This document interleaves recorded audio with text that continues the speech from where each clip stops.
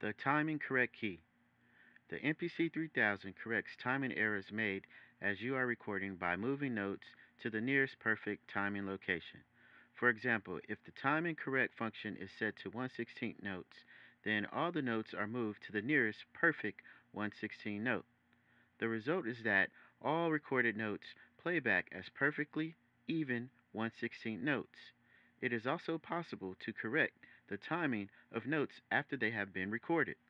To inspect or change the timing correction settings, press the timing correct key while the MPC is not playing.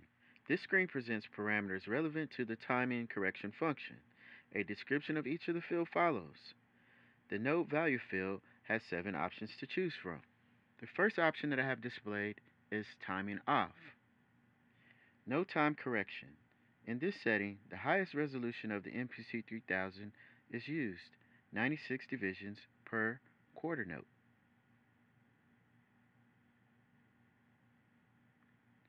One eighth note.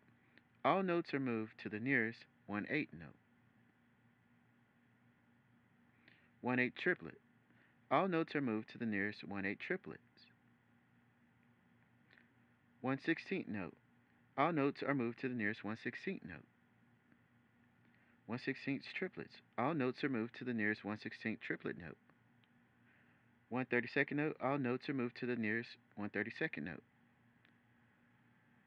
1 32nd triplets. All notes are moved to the nearest 1 32nd triplet notes.